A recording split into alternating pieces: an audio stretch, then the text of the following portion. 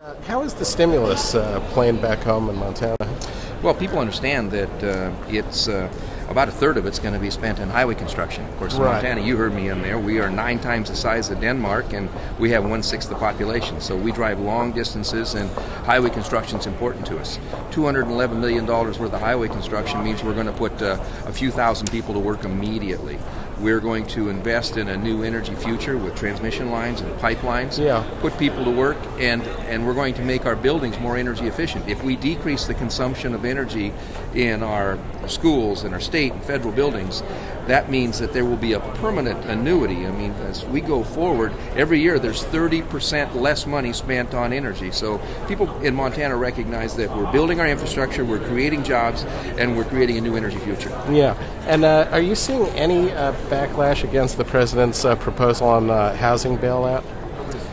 Montana, um, you can understand, we, we have uh, we didn't take any TARP funds. Not a Right. single bank took TARP funds. Right. Uh, secondly, uh, we have uh, the the lowest or the second lowest foreclosure rate in the country. Right. Almost none. We had almost a, none of these uh, teaser loans that people Right. were so concerned about.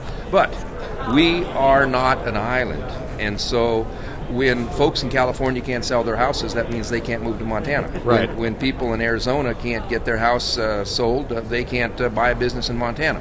When people in Florida can't sell their buildings, uh, they can't buy a ranch in Montana. So um, we are affected uh, in a global sense by what's happening into the real estate market with the 1031 tax law. We are affected because people want to sell what they got Right. someplace else, and I can't blame them. They want to get to Montana. Right. But Harry, I mean, uh, you, I, I take it you like the president's. Well, I think so. I mean, yeah. bottom line is uh, this this is not going to be used by people that were uh, speculating with homes. Right. It has to be your primary home. You have to have been current in your payment. I mean, this is not going to reward bad behavior. Right. And uh, let me ask you about your visit to the White House. What did you and the president get a chance to talk with? Well, um, I, I just I, I just said to him uh, privately that uh, while uh, you know I was a little disappointed uh, with with uh, their their uh, their progress so far because I said to him, sure, sure, sure, it's only been 30 days and and you've already passed the most significant energy and infrastructure and education bill in Right. at least 50 years, but uh, you have to take personal responsibility for the fact that you have not selected a puppy yet for for those and so I mean, it, it, we're expecting more. Right.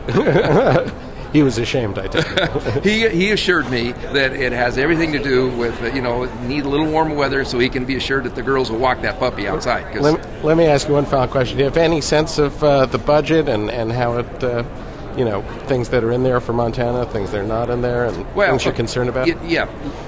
The things that are in it are good for Montana because there's $60 billion in, in loan guarantees for such things as coal gasification plants. Right. There's $3 billion for carbon capture and storage demonstration projects. Right. Uh, and so those are important to Montana because we, we are the fastest increasing oil producer in America, and now we need uh, pure streams of CO2 that would come from coal gasification so that we can uh, enhance our oil recovery. So we'll sequester CO2 from coal fired plants and we'll produce more oil. Uh, transmission lines, there's no place in America the transmission lines are more important because we have an inexhaustible supply of wind Right. energy and coal.